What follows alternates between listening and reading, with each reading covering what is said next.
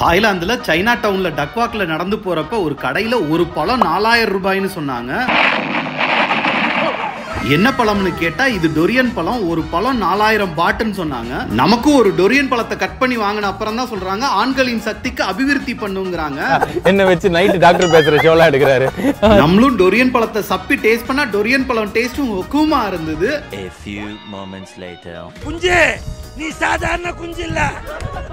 அப்பமவன மன்மத குஞ்சு. புரியுதா? மல்லிகை குஞ்சு.